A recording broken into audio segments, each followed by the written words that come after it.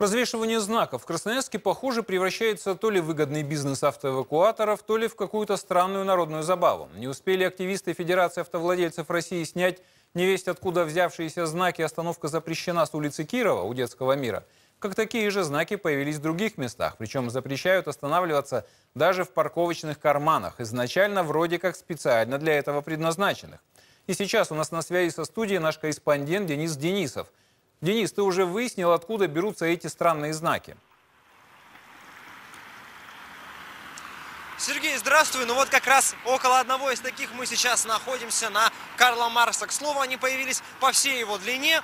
Э, непонятно, какую цель они преследуют, поскольку под каждым из них припарковано огромное количество машин, но при этом они не мешают ни проезду автотранспорта, ни э, ходить пешеходам. Вот помочь разобраться в этом загадочном феномене мы попросили Павла Стаброва, представителя Ассоциации автовладельцев. Ну, расскажите, пожалуйста, как, на ваш взгляд, ну, для чего вся эта задумка со знаками реализуется? Э, эта задумка реализуется для того, чтобы ну, если просто выразиться, да, изъять э, некое количество денег из кармана автовладельцев, приложить их в городской бюджет, поскольку городской бюджет достаточно дыряв. Вы правильно заметили, что эти машины не мешают никакому магистральному движению транспорта. Э, такая формулировка, такую формулировку использует мэрия.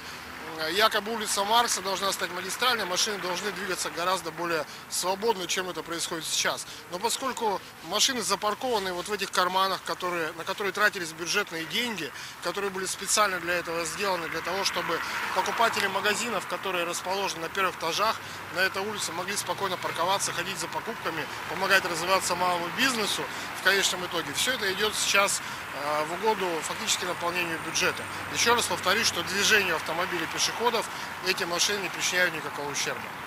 Ну вот у ассоциации уже был опыт с удалением, так скажем, неэффективных знаков. Будет ли что-то подобное ну, предприниматься и по поводу этих? Да, конечно, будем смотреть, как будет развиваться ситуация в дальнейшем э, с этими знаками. На наш взгляд, эта операция проведена преждевременно и очень так скоропостижно, очень быстро. Знаки развешивают буквально сейчас э, и очень много.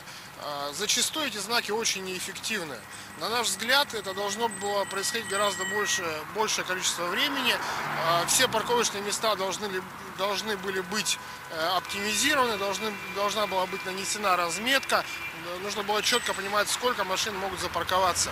Пока что идет сокращение парковочных мест в центре, в очень большом объеме. Это печально. Администрация вместо того, чтобы создавать парковочные места, строить многоуровневые, обещанные нам теплые там парковки, э, идти по современному пути развития, к сожалению, просто собирает деньги за то, что автомобилисты въезжают в центр города. Э, спасибо, Павел. Ну, мы будем надеяться, что эта проблема, ну и все сопутствующие, которые связаны с, так сказать, оптимизацией дорожного движения в Красноярске, будут в ближайшее время решены. Сергей, тебе слово.